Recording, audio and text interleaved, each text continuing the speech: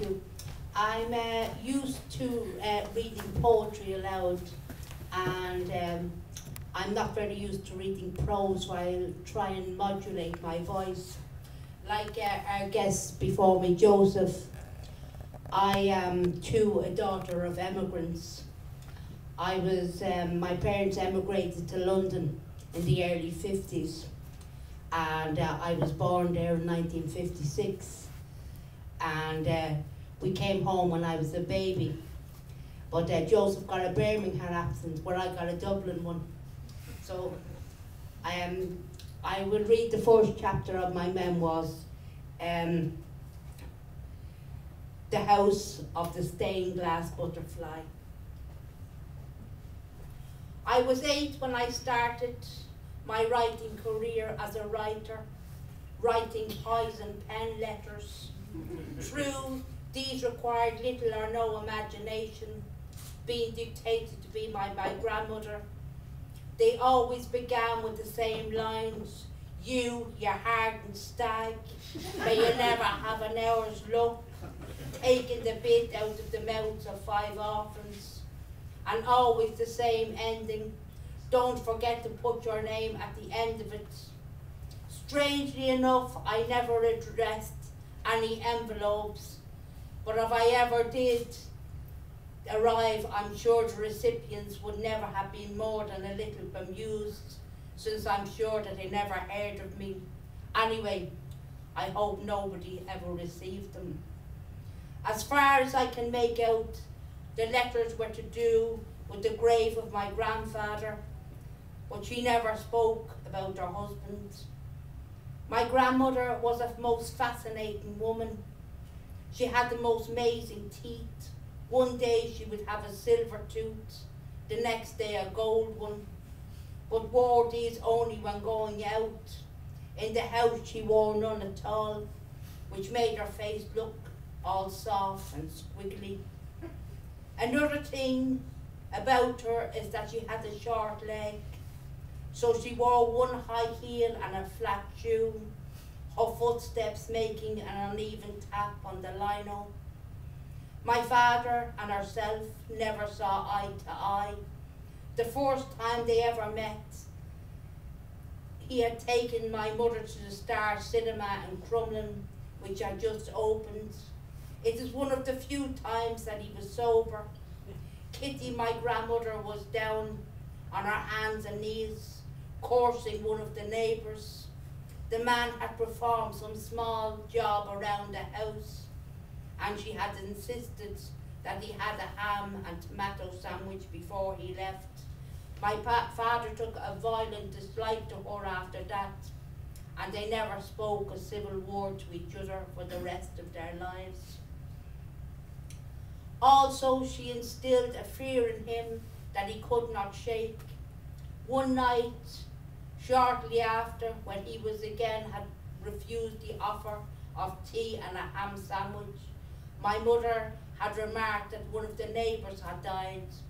I know, said Kitty. I heard the other one walking on the lamppost all night. What other one? My father asked. My mother heard it all before. She's talking about the old one who cries, the banshee. My father took a fit of laughing. Kitty, full of indignation, stamped her foot and pointed a warning finger at him. The next time you see me, the laugh will be on the other side of your face. There was a thick fog that night. My father, on his way back to Inchicore, stopped under a street lamp on Rafters Lane to light a cigarette. Then he said he saw the most hideous being it was about three feet tall. The face was like something out of the bowels of hell, and it had long grey hair sweeping to the ground. I think he was about 22 years old and a very good runner.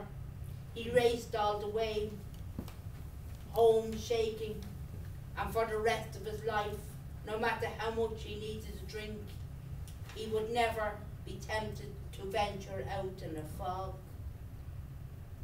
Kitty also held a terrible grudge against Dublin Corporation, her family home, a cottage when in Windmill Lane, now Kildare Road. But it is Inishmore Terrace, a row of single stories cottages. Her mother's name was Mary, whose ancestors had lived in the village. I think she died in the great flu outbreak in 1918. Anyway, when Kitty was a young woman, she was living with my grandmother's father, my uncle Desi and my mother Mona.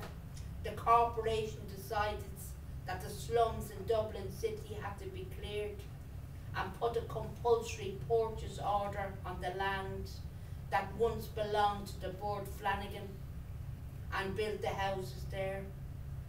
My great grandfather Jack worked for the board as a ploughman and I suspect that they got their cottage.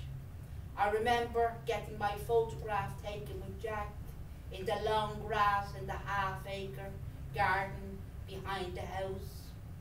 Kitty did not lick it off the stones. He was another one with a warm heart. It was told that his mother walked all the way from Wexford with a bantam cock under her arm and we, he would not let her in. My parents met on a blind date and ended up in court. A friend of my father, Phil, had a girl lined up for a double date and Mona was persuaded to go along. Phil was a well-known ladies' man, according to himself. In later years, he would often tell me stories, slightly racy ones. At the time, I could not make head nor tail of them. They all had a feed of drink in a public house. Phil, Kathleen and my father. Mona, as always, was stone cold sober. When closing time was called, she went in, they went to the bona fide in Rathfarnham. As far as I could tell, it was a place where you could be served drink after hours because it was outside the city boundaries. And the licensing laws did not apply there. About two in the morning, one of them must have decided it was time to go home, so they packed into Phil's car, but he lost control and they ended up in a ditch. Somehow the guards were called and they were all summoned. Mona was the chief witness, as she was the only one who could remember. So after a couple of sessions in the courthouse, Phil was fined, given a warning, and Mona and Jimmy were going out. My grandfather on my mother's side was pure Norman, her ancestors had come with the invasion in 1169, so blood won out. She had the most beautiful blonde hair, although in later years it came from a bottle, eyes of the most vivid blue, and in contrast dark, sallow skin that took to the sun very easily. I had never met my grandfather, he died in the Pigeon House in Dublin from tuberculosis when Mona was 18. On our lunch break from work, she would try to cycle across the city to see him. This had to be done with utmost secrecy. TB was a shameful disease to have in a family, so no one could be told where she was going to. Mona adored her father. She spoke of him often with tears, as a kind and gentle man who had a fine singing voice. All of his family were singers and musicians. As a young man, his spare time, he helped to build the grotto in the grounds of the Oblate Church in Inchicore and was buried in the blue habit of a child of Mary. Whenever I am on the Luas and the tram stops in Drimnagh. In my mind's eye, I can see him running across the Lansdowne Valley to Cork Kitty. At that time, there were no houses. The ones that are there now are part of the slum clearance scheme, just like Crumlin. At the other side of the valley is Drimnagh. I think that is the oldest moated castle left in Ireland. It was built in 1216 by the Barnewalls a Norman family. There was a famous love story about the daughter of Sir Hugh who built the castle. Eleanora fell in love with the chieftain of the O'Byrnes who had lived in Wicklow, a sept of the clan who lived in the Dublin mountains, who used to raid the houses in the valley below. The girl was to be married to her cousin in Christ Church Cathedral, and on her wedding day, the O'Byrne came riding down to take her away. In the battle that ensued, the chieftain was killed by the Barnewalls, and it was said that her wedding dress dripped blood all the way to the ceremony. Like my father, I have the great knack of giving directions, naming pubs. So if you're ever on the number 50, 56, or 77 buses, you will know where the Eleanora Bar and Lounge got its name. Thank you.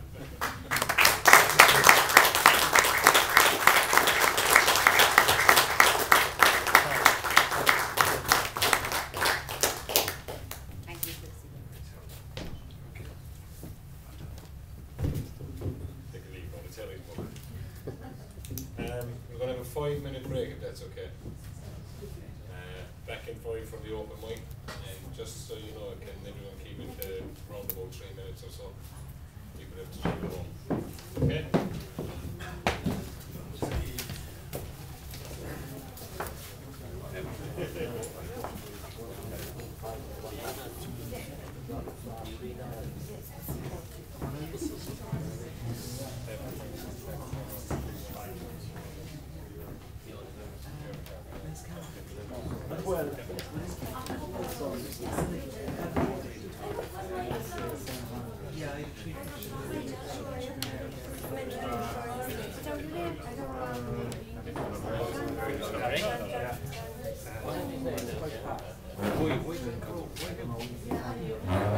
Happy New Year, man.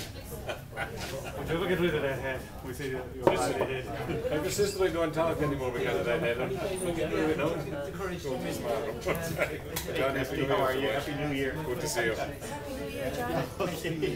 Happy New Year. Fantastic.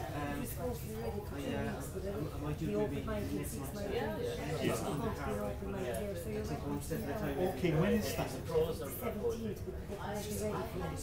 Yeah, so they'll postpone. Yeah, yeah, yeah. Yeah, yeah. Okay, that, that's brilliant. Brilliant. Right. And uh, so I kind of took it together, but uh, I was going to bring it in, but uh, I took maybe uh, uh, it's great to hear. I have to say, uh, it's great to be in a place. It's, it's, it's interesting. Of course, yeah. yeah. Yeah. I should, but uh, it's brilliant, you know, because I, uh, I just have um, social food. Yeah, I suppose. Well, I mean, At the moment, depends on a the the thing. Yeah, yeah. First, the first half, like It's, the, it's, it's mad, isn't it? Yeah, the difficult. things like that the, the barriers we put up, you know? Because I'm sitting at home after press and I come in and it was great because uh, it's, uh, it's, a lovely venue, isn't it? Like see on the different voices, like different, different different things. You know, yeah, I mean that's the next part. Like. And what can I do? Bring along with you? Maybe short piece. Brilliant. And, I have to kind of enter it in as long as we know before we start. Maybe this time as well? if you wanted to do it now, more than welcome to do it, you know, but not sure just come along the next time. You know? I'll, I'll bring it along with us, just, just to see the car, the piece written. But, um, yeah, I, I, I give it car. And it's great. Yeah. Yeah, I'll, I'll bring it along with us. Yeah, yeah. Um, I think I will, yeah. Instead of leaving the outside. It's true, yeah, yeah. But I know it's